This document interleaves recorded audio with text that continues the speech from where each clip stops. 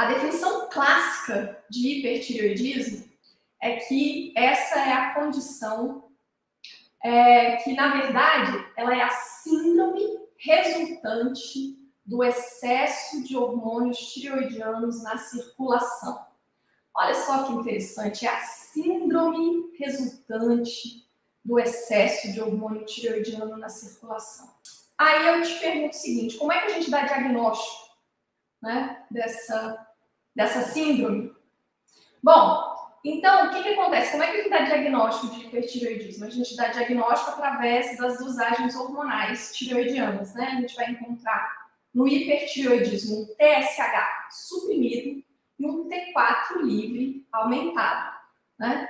É, essa vai ser a, a principal característica né, do hipertireoidismo.